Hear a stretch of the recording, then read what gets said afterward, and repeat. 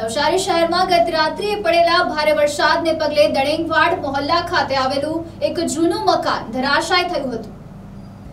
ગત રાત્રિએ નવસારી શહેરમાં પડેલા ભારે વરસાદને લઈને શહેરમાં આવેલા દણેંગવાડ મોહલ્લામાં આવેલું જૂનું મકાન જમીનદોસ્ત થઈ ગયું હતું.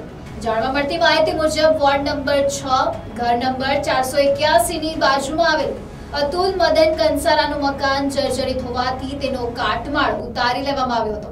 જેને કારણે બાજુના મકાનની જગ્યા ખુલ્લી થઈ જવાથી અને ભારે વરસાદ પડવાને કારણે કાંતિ ભગતના મકાનની દિવાલ ધસી પડી હતી.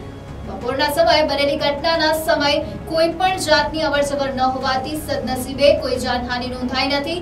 ત્યારે બે દિવસમાં નવસારી શહેરમાં કુલ ત્રણ મકાનો ધરાશાયી થવાના બનાવો નોંધાયા છે, પરંતુ આ તમામ ઘટનાઓમાં એક પણ જાનહાનિ નોંધાઈ નથી તે સારી બાબત છે.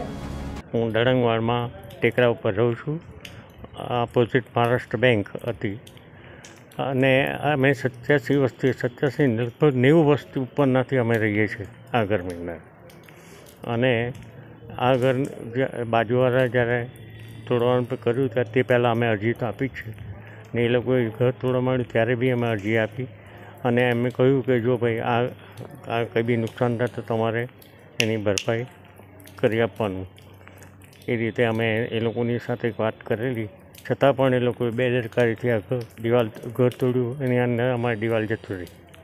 આજે, આ, એટલે આજે આજે જ દિવાલ તો તૂટી. આજે દિવાલ તૂટી. નહીં એ તો અંદર છે, પણ એટલું બીજું કંઈ નુકસાન થયું નથી. મારા ભાઈ બેસીને અંદર કામ કરતા હતા. Report NTC news Navsari